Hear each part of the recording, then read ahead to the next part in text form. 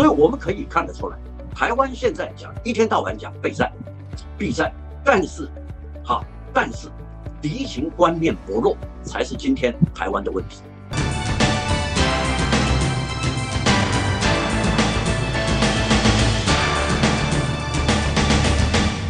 各位观众，大家好，我是有话直说的主讲人张有华。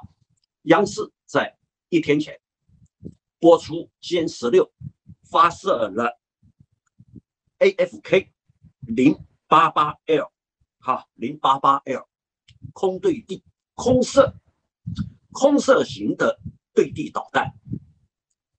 央视发表完了以后，引起台湾的震惊。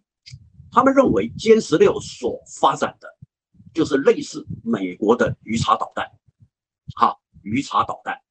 那鱼叉导弹它有空射型，有海射型，也有陆射型。它基本上它是对的，就是以反舰为主。但是解放军的鱼叉导弹，大陆版的鱼叉导弹是以空对地为主，就是歼十六，然后发射距离两百七十公里。换句话说，歼十六不必飞出中国大陆沿海，就可以对台湾的。目标进行精准打击，精准打击的，就是在两个地方，一个是圆山指挥所，就是圆山饭店的圆山；另外一个呢，就是衡山指挥所，就是湖南省南岳衡山的衡山。为什么讲这两个地方？因为这两个地方，我们可以说有两条道路可以指明。这个地方的方向，一个就是大直的协商桥。那所谓大直的协商桥，过了斜张桥以后，各位直时看过去，确切的说，那个就是衡山指挥所的位置。那另外一个圆山指挥所呢，就在圆山饭店的侧边，比较靠近四零官邸那个地方。那事实上，这个地方它一座山叫做鸡南山。鸡是公鸡的鸡，南是南北的南，哈，叫做鸡南山。鸡南山已经被挖空了。那过去这个地方是在哪里？过去这个地方就是台湾三军大学的所在地。台湾三军大学的所在地的后门，刚刚好面临的是四林官邸，所以他那里是有一个通道。那现在三军大学已经变成了台湾军事的重镇，台湾的军方。包含空军，包含海军，包含哈三军联合作战单位都设在这个地方。西南山的山腹应该都被挖空了。那现在台湾的战时指挥中心就是两个地方，备用的是圆山，直接使用的是横山，刚刚好协商桥，刚刚好协商桥。你导弹直接发射的话，那个地方就是横山指挥所。侧偏一点的话，各位。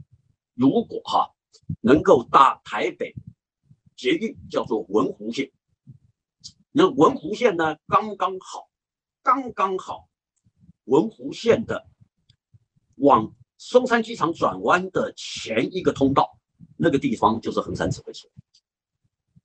这两个地方，一个是日本人建的，一个是蒋介石时代就陆陆续续的新建，一直到蒋经国时代完成。这两个地方。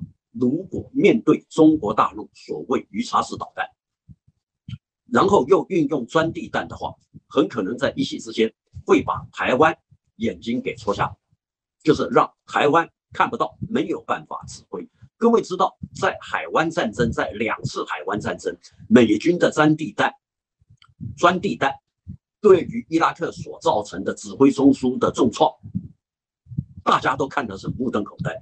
那现在中国大陆的歼十六已经配配属了叫做 AFK，哈零八八 L 的专地，就是空对地导弹，可以说对台湾来讲是威胁很大。那这两个地方为什么会成为解放军选中的目标区？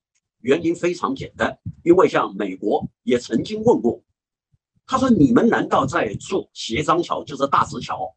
还有在做捷运的时候，就是地铁的时候，没有想过这个问题。我说他们那个时候的确是没有想到，也没送请军方审核，因为我说，毕竟那是李登辉时代新建，那军方的力量那个时候已经没有那么强。等到设计好新建的时候，台湾的军方才发现不妙，时机不妙。所谓时机不妙，刚刚好这两个地标景点就成为巡航导弹的飞行路线。你只要顺着这个路线直直走下去的话，就是两个重要的战时指挥中心。那我也问过美军，尤其问过呃美军的几个。几个重要人士，我说有没有办法防治？他说这个是很难防治，因为你这个路标，你的地形的标示就是地形匹配，哈，就是马匹的匹配是，哈，是配合的配。我说这，他说这种地形匹配一旦输入到弹头的话，那就是顺着这个东西进来。那你除非强化你的反导设施，但是偏偏它又是钻地弹，在这种情况之下，我们只有一句话说，就是当时候的思虑不周，也导致了今天这个现象。偏偏这个地方，台湾的军方又把军事重镇变成了一个大直要塞区，未来中国大陆的第一波打击，大概就会从中国大陆的领空，它发射类似的导弹进攻。台湾的哈，就是我们讲大直要塞区，所以我们可以看得出来，台湾现在讲一天到晚讲备战、避战，但是哈，但是敌情观念薄弱才是今天台湾的问题。